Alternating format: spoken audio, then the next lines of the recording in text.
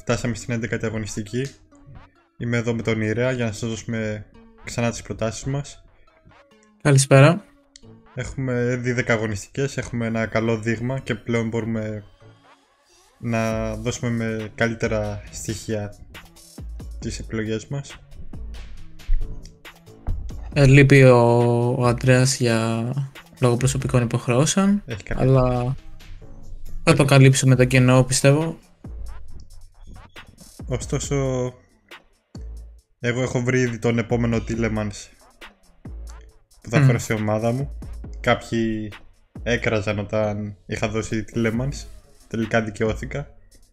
Ναι, βγήκα πολύ λάθος τώρα δεν ξέρω αυτό ήταν απλά ένα καλό φεγγάρι που κάπως κατάφερες να το προβλέψεις ή όντως είναι τόσο value ο Tielemans δεν ξέρω πάντως αυτή τη στιγμή είναι από τους καλούς μέσους του παιχνιδιού Νομίζω σε πόντους. πέρασε τα expected goals που είχε κατά πολύ και σίγουρα είναι overachiever. Ναι, είχε περάσει μια καλή περίοδο που είχε βάλει αρκετά γκολ. Εντάξει, από εδώ και πέρα τον έδιωξε από την ομάδα μου και θα φέρω τον επόμενο μέσο mid price Άντα, για πες μας. που είναι ο Trossard της Brighton. Ε, από ό,τι έχω δει τα παιχνίδια και από ό,τι λένε και τα στατιστικά είναι ο πιο επιθετικός παίκτης στην Brighton. Απειλεί αρκετά την αντιπαλαιστία. Έβλεπα ότι έχει 15 shoot μέσα από την περιοχή. Σκόραρ και με τη Liverpool.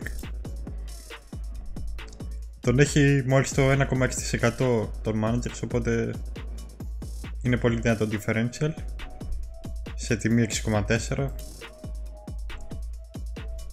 έχει καλό πρόγραμμα και η Brighton παίζει με την Newcastle μετά με την Aston Villa, τη Leeds ομάδες που δέχονται σχετικά εύκολα γκολ Μμμ, ναι, ναι. Ε, κοίτα, ε, καλό, καλή επιλογή είναι. Είναι όντως, ε, έχει τους περισσότερους, είναι ο παίκτης με τους περισσότερους πόντους στη Brighton. Η οποία Brighton πηγαίνει αρκετά καλά φέτος. Τώρα έρχεται μόλις και από το αποτέλεσμα στο Anfield μέσα το 2-2 που έχανε 2-0 και το γύρισε με, με γκολ του Trossard ε, η ισοφάριση. Ε, το μόνο, ο μόνος ενδιασμός που θα είχα είναι ότι ε, ο, ο Τροσάρ γενικά πόσο κοιτάω τους πόντους του δεν έχει τόσο ψηλό ταβάνι. Δηλαδή άμα κάνει θα κάνει ένα return ας πούμε. Θα φέρει ένα goal ή μια assist σε ένα match. Και δύσκολα θα ξεφύγει από αυτό Σίγουρα, γιατί και η Brighton δεν είναι η ομάδα που θα βγει μπροστά σαν τη City ξέρω εγώ ή και άλλοι ας πούμε βλέπουμε τη Watford να παίζει αρκετά επιθετικά να, να βάζει γκολ συμφωνώ σε αυτό γενικά η Brighton είναι ομάδα που έχει τα βάλει νομίζω τα δύο γκολ στο παιχνίδι Ναι, αυτό ακριβώς. Ε, από όσο βλέπω δεν έχει βάλει πάνω από δύο γκολ σε κάποιο παιχνίδι. Γενικά βάζει γκολ όμως.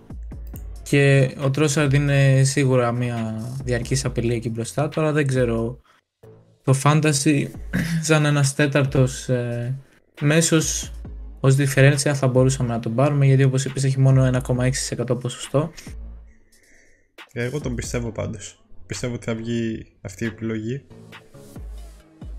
Κοίτα, το, το άμεσο ιστορικό με τον Tillemans είναι πολύ καλό, οπότε Να προσθέσω και σε αυτό ότι είχα δώσει ανεπίσημα και το mount με την Norwich σε ένα post που είχε κάνει ο Mr. Fantastic όταν όλοι έλεγαν για Havertz να τα τονίζουμε και αυτά τότε που έκανε το hat-trick δεν λες; αν και εγώ πήρα το Havertz στην ομάδα μου Ε, με έτσι πάνε.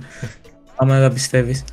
Τώρα, εγώ ήθελα να σχολιάσω λίγο επειδή ε, είπες για το Τροσάρντ ότι λίγο το τι παίζει με τους ε, μέσους στο παιχνίδι αυτή τη στιγμή και έχω χωρίσει δύο κατηγορίες όπου έχουμε μέσους ε, γύρω στα 6,5 εκατομμύρια και μέσους κάτω των 6 γιατί φέτος ε, βλέπω να έχει πάρα πολύ value εκεί πέρα το παιχνίδι. Δηλαδή στους premium ο Σαλάχ ξεχωρίζει πολύ, ο Σον ε, παίζει καλά, φέρνει πόντους και ίσως ανέβει με τον Κόντε αλλά γενικά δεν έχουμε τόσο πολλά, είναι σε εκείνες τις τιμές που κι- κινούνται που γίνονται πράγματα και έχω δώσει μειωμένο συγκεκριμένα τον Μπενράμα στα 6,5, Τίλεμανς επίσης 6,5 που είχες δώσει, Σάρ 6,2, Μπάουεν 6,3, Ραφίνια 6,6 και Σάκα 6,3.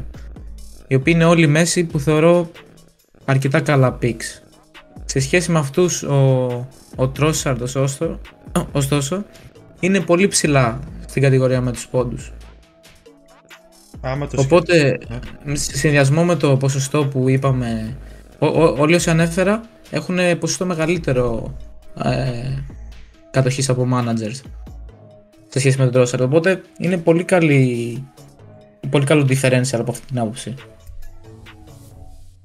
Τη φετινή σεζόν είδαμε ότι στην αρχή ας πούμε όλοι διαμαρτύρονταν για τις τιμές των παικτών και τα λεφτά και τέτοια. Πλέον αφού έχουμε φτάσει ήδη στην 11η αγωνιστική βλέπουμε ότι στην ουσία η... αυτή η mid price είναι οι παίκτες που κάνουν τη διαφορά. Δεν έχουμε δει κάτι από τα μεγάλα ονόματα. Ακριβώς, ακριβώς. Έχουμε πολλούς εκεί στα 7 με 8 εκατομμύρια που δεν επιστρέφουν όπως θα περιμέναμε. Ο Greenwind είχε κάνει πολύ καλή αρχή.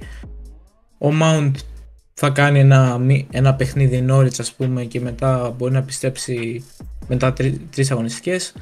Average εκεί μετά έχουμε παίκτης από τη City. Γενικά Και Bruno εκεί λίγο Fernandes, ας πιο... πούμε, είναι πολύ Ναι, αυτός είναι, αυ- αυτός είναι premium ο- ωστόσο. Τώρα, δηλαδή εγώ τα έχω χωρισμένα έτσι στο μυαλό μου. Ναι, απλά είναι ότι μπορείς να βρεις τα λεφτά για να, κάνεις, ε, να χτίσεις την ομάδα σου όπως ε, θες. Μμ. Και εγώ για παράδειγμα δεν έχω αυτή τη στιγμή ούτε Μπρούνο, ούτε Λουκάκου, ούτε Ρονάλντο. Και Ναι, ναι. Θα τα συζητήσουμε και αυτά όταν πω εγώ την, πρό- την πρότασή μου, λέω. Ωραία. Απλά να αναφέρω ενδεικτικά επειδή το σχολίασα ότι η δεύτερη κατηγορία παικτών που έχω χωρίσει στο κέντρο που είναι κάτω των 6 εκατομμυρίων είναι Gallagher, Smith Rowe, Townsend, Gray και Εμπέουμο της ε, ε, Bradford οι οποίοι είναι όλοι κάτω των 6 εκατομμυρίων ο πιο ακριβώς είναι ο Gray με 5,8 και εδώ βλέπω ποσοστά αρκετά μεγάλα, δηλαδή ε, Smith Rowe έχει 15,1, Gray έχει 17,6 που δείχνει πάλι αυτό που, που λέγαμε ότι οι παίκτες φαίνεται να, να θέλουν να κινηθούν σε εκείνες τις θέσεις λίγο πιο budget επιλογές μέσων που όμως φέρνουν πόντους από όσο βλέπουμε. Πάλι ε, συγκρίνοντας με τον Trossard εδώ δεν ξέρω αν είναι τόσο σε σχέση με αυτούς, δηλαδή άμα σκέφτεσαι να φέρεις κάποιο- κάποιον από, αυτόν, από αυτούς δεν ξέρω αν είναι τόσο value η επιλογή του Trossard από άποψη ε, Ε, η, τιμή, differential, γιατί είναι, πιο, είναι και πιο ακριβώς αυτό. ναι, η τιμή σίγουρα παίζει σημαντικό ρόλο. Και ο Γκάλαχερ και ο Σμιθ Ρο έχουν δείξει ότι είναι παίκτες που μπορείς να τους έχεις και βασικούς στην ομάδα σου. Δεν είναι δηλαδή Ναι, ο- αυτό ο ακριβώς. πέμπτος μέσος. Σε Ναι, αντίθεση ναι. για μένα ας πούμε το Townsend και τον Gray που δεν θα τους έπαιρνα για βασικούς. Κοίτα, αυτοί οι δύο πιστεύω έχουν, έχουν ανέβει λίγο παραπάνω λόγω των απουσιών της Everton Απλά ε, δεν, στην επίθεση, οπότε έχουν πάρει πολλές ευκαιρίες. δεν έχουν σταθερότητα όμως. Το... Ναι, συμφωνώ, συμφωνώ. Θα κάνουν μια καλή αγωνιστική και, και μετά από εκεί πέρα πέντε μέτριες. Οκ, οπότε συμφωνώ και εγώ είναι καλή επιλογή differential ο Trossard, δηλαδή και άμα δεν κάνει κάτι και κάνει κάτι από τους υπόλοιπους είναι γενικά μοιρασμένα τα πράγματα όπως είπαμε. Οπότε δεν, δεν πιστεύω ότι μπορεί κάποιος να χάσει τόσο πολύ από το Trossard σαν επιλογή. Είναι αρκετά καλό differential για το κέντρο. Θες να περάσουμε στη δική σου πρόταση. Ναι, τα... η δική μου πρόταση είναι ο Μπομεγιάνγκ στην επίθεση. Αυτή την αγωνιστική έχει την, την Watford. Ε, είδα την Arsenal με τη Leicester, μου άρεσε πάρα πολύ πως έπαιξε. Δηλαδή μου φάνηκε πολύ πιο συγκροτημένη από αυτά που είχα δει στην αρχή. Κάτι παιχνίδια με Chelsea που φαίνονταν εντελώς χαμένοι. Ο Μπομεγιάνγκ γενικά έχει περάσει αρκετά under the radar γιατί έχει 4 γκολ και μία assist τον βάζει, αυτό το βάζει πολύ ψηλά στους ε, επιθετικούς φέτος αλλά έχει αρκετά χαμηλό ποσοστό δηλαδή είναι μόνο στο 5,4 Είναι σίγουρα ε, η περσινή σεζόν που τον έχει ρίξει πολύ στα μάτια του managers. Ναι, ναι, δεν ξέρω. Και, και, και αυτό και η εικόνα της Arsenal στην αρχή σίγουρα. Φαντάζομαι πολλοί δεν είναι τόσο ε, αισιόδοξοι ας πούμε, για, τη, για την Arsenal ακόμα ώστε να πάνε να πάρουν κάποιο παίκτη με 10 εκατομμύρια κιόλας. Απλά ήθελα να σχολιάσω ότι ε, από τους premium ε, τους λεγόμενους επιθετικούς όπου εκεί βάζω Κριστιανό, βάζω Λουκάκου, βάζω Κέιν ο Όμπα βρίσκεται δεύτερο σε πόντους και μπροστά του είναι μόνο ο Βάρντι, ο οποίος ο Βάρντι κοστίζει και 0,8 εκατομμύρια πάνω, δηλαδή σχεδόν ένα ολόκληρο ε, εκατομμύριο. Και βλέπουμε τελευταία όλους αυτούς τους premium να είναι γενικά out of form, δηλαδή ο Βάρντι τελευταία δεν έπαιξε τόσο καλά, βγήκε και αλλαγή ε, με την Brentford που είχε ένα πρόβλημα, με την Arsenal δεν μου φάνηκε καθόλου ενεργός, δηλαδή πιο πολύ το Madison ξεχώρισε επιθετικά ο Κριστιανό και επέστρεψε με την Tottenham, αλλά φαίνεται και αυτός λίγο μόνος του. Δεν ξέρω, θα δούμε, έχει και δύσκολο πρόγραμμα. Και είναι, είναι τουρίστας μέχρι στιγμής, θα δούμε μήπως αλλάξει κόντε. Οπότε είναι από τις καλές επιλογές ο Μπομονιάνγκ, θεωρώ, μπροστά. Παίζουν και με τη Watford που είναι ομάδα που ανοίγεται γενικά. Οπότε με τη ταχύτητα mm. του μπορεί να βρει χώρους να κάνει κάποιο γκολ. Ακριβώς. Και γενικά έχει καλό πρόγραμμα. Δηλαδή έχει τη Watford τώρα, μετά έχει τη Liverpool, ok. Okay. Αλλά ακολουθεί Newcastle και Manchester United, η οποία ναι, μεν τη βάζει το fantasy στα κόκκινα, αλλά η United έχουμε δει αμυντικά δεν, δεν πείθει κανέναν. Έχει κρατήσει όλο και όλο ένα clean sheet φέτος και αυτό ήταν με τη Wolves σε ένα παιχνίδι που είχε χάσει τα άχαστα. Ο ψέματα κράτησε και με την Tottenham τώρα, την κάκιστη Tottenham. Οπότε δεν θεωρώ ότι είναι κακό παιχνίδι για τον Aubameyang αυτό με τη Manchester United. Το μόνο Κακός ενδιάμεσο είναι η Liverpool, ok. Okay. Πιστεύω και σε εκείνο το παιχνίδι, άμα κάποιος μπορεί να κάνει τη διαφορά από την Arsenal να κυνηγήσει κάτι, είναι ο Young. Ναι, ναι, σίγουρα είναι και στα penalty, από όσο γνωρίζουμε. Οπότε μου φαίνεται καλή επιλογή για αυτή την αγωνιστική ειδικά περιμένω καλούς πόντους από τον Aubameyang πιστεύω αξίζει το ρίσκο, δηλαδή ε, τουλάχιστον στην ομάδα μου όπως θα κοιτάω πέρα από τους 1-2 premium ε, τύπου Σαλά, Ρονάλντο δεν, άντε και Μπρούνο πες, δεν βλέπω κάποιον όπου μπορώ να βάλω λεφτά και να πω ok σίγουρα θα φέρει πόντους ε, είναι όλοι σε πολύ περίεργη κατάσταση όσον αφορά τη φόρμα ή ακριβή. Ε, Οπότε το, το ρίσκο δεν το θεωρώ τόσο μεγάλο για όμπα. Έδειξε εμπιστοσύνη στον De Bruyne Στι mm. τελευταίες δύο αγωνιστικές τον είχα βάλει και αρχηγό όταν όλοι είχαν βάλει Σαλάχ και πήρα ένα πόντο. Mm. Ναι, και εγώ μια αγωνιστική την έπαιχα έτσι. Τα... Νομίζω δεν έχω κάτι άλλο να σχολιάσω σχετικά με τον Απομιλιά. Αυτές ήταν οι προτάσεις μας.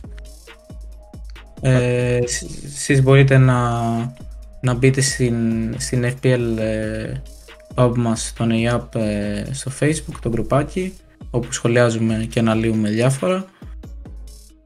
Ανεβαίνουν άρθρα με αρχηγούς, επιλογές αρχηγών και γενικότερη συζήτηση άρα με το fantasy. Μπείτε στο κανάλι στο YouTube, πατήστε ένα like, κάντε ένα subscribe αν θέλετε να βλέπετε τα βίντεο μόλις ανεβαίνουν. Ακριβώς. Έχουμε βίντεο για στοίχημα, έχουμε podcast με ανάλυση της Premier League. Mm, Ακριβώς το Yards, πολύ καλή δουλειά τα παιδιά. Μπορείτε να μας βρείτε και στο Instagram, AppGR. Να αποχαιρετήσουμε λοιπόν όσοι μας άκουσαν και να πούμε καλή επιτυχία μέχρι την επόμενη φορά. Καλή, καλή τύχη για την αγωνιστική και με τις επιλογές, ό,τι και να πάρετε. Bye bye.